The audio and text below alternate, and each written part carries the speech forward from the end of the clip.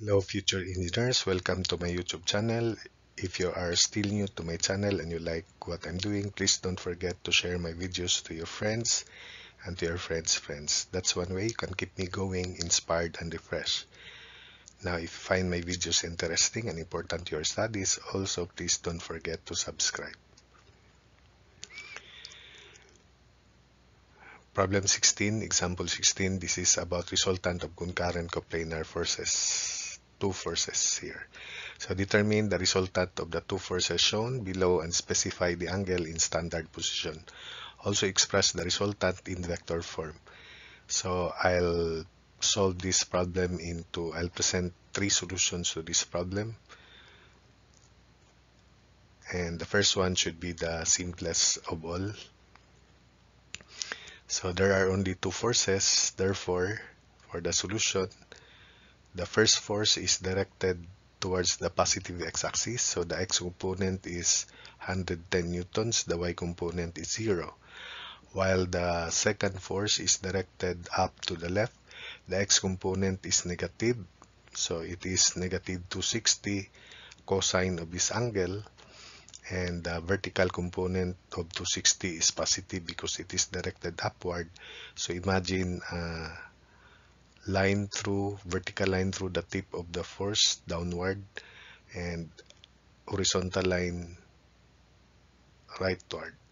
So we can form a right triangle.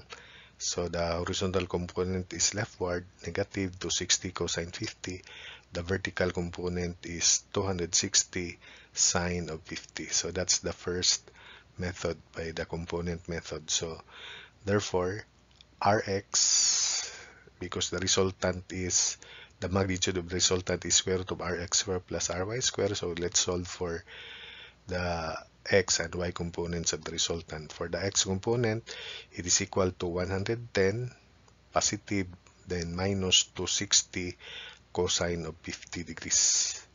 This component of this triangle, which is leftward. So Rx is equal to negative 57.12 newtons. Then for the vertical component, which is this, it is hypotenuse 260. 110 has no y component, it is horizontal. So 260 positive sine of 50 degrees, the opposite to 50 degrees. So hypotenuse 260 sine of 50 that's r sub y and it is equal to 199.2 newtons. Therefore, we can now compute the magnitude of r, which is square root of rx squared plus ry squared. So this is the result because rx is negative, it is leftward, ry is positive upward, and this is the resultant in that direction. So obviously theta x is greater than uh, 90 degrees. It is 180 degrees minus alpha. And we can compute alpha based on this right triangle. Tangent of alpha is 199.2 over 57.12. But the magnitude is square root of 57.12 square plus 199.2 square. So the magnitude of the resultant is 207.2 newtons. Then alpha is arctan of 199.2 over 57.12 arctan of quantity 199.2 over 57.12 so alpha is equal to 74 degrees. Therefore theta x is 180 degrees minus 74 180 degrees minus 74 is 106 degrees. So it is not the calculation is not shown here. I just mentioned 180 degrees minus 74 is 106 degrees. So that's theta x. Then in vector form, r is uh, negative 57.12 i plus 199.2 j newtons. Then for the second solution, we express each force as a vector, then add them vectorially or geometrically. So for vector 1, the angle is 0 degree. It is directed towards the positive x-axis. So the angle that this force makes with the x-axis is 0 degree.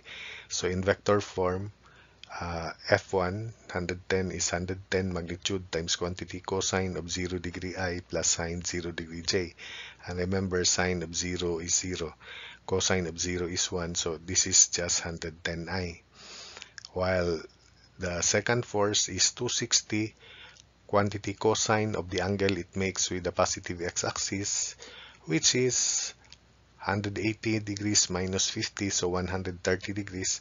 So the second force in vector form is 260 of quantity cosine 130 degrees I plus sine 130 degrees J. So R is 110 I plus 0j, then the second 260 cosine 130 is negative 167.1 I, then 260 sine 130 degrees j is 199.2 j. Combining the components i and j, so we have 110 minus 167.1 is negative 57.1 i, then plus 199.2 j newtons, which correspondingly the x and y components of r respectively. So when expressed in vector form, this answer is enough. This will take care of these two answers here. So that's it. Then for the third solution or third way, so let's redraw the figure and I apply parallelogram law here and use law of sines. So this is the resultant. Then this is theta x. This is also 260 from the properties of parallelogram. These are parallel. So 260. This angle is 50 degrees also. Angle between the 260 Newton force and the horizontal. Just like this. And this is 260 Newtons. So we can compute the magnitude of r by cosine law that is r square opposite to 50 equals sum of squares of the other sides minus twice the product of the other sides times cosine of the angle between those sides. So by from cosine law r square this is theta x r square equals 110 square plus 260 square minus 2 times 110 times 260 cosine of 50 degrees so R can now be computed. The magnitude is 207.2 newtons. And for the angle, theta x, do not use sine law because unless otherwise you're thinking that that theta x is obtuse, your calculator will definitely give you acute angle which is less than 90 degrees if you use your calculator and apply sine law. So I suggest that you apply cosine law instead. But you can only apply sine law. I will apply sine law definitely because I'm anticipating that the displayed answer in my calculator will not be used. It is 180 degrees minus the displayed answer in my calculator. But for your case, if you do not think, you just apply sine law automatically, then you rely on your calculator without thinking, definitely your answer will be 74 degrees if you use sine law. So I'll use cosine law. So opposite of theta x is 26 cosine law 260 square equals 110 square plus 207.2 square minus 2 times 110 207.2 cosine of theta x. So from here theta x can be solved and it is automatic 106.0 degrees. Then that's it for these three solutions. Then three ways. Then for your case try to solve this. So almost the same but different results so show that the magnitude of the resultant is 91.65 newtons. Then theta x is 49.11 degrees. And in vector form, r is 60.00i plus 69.28j newtons. So that's it for this problem.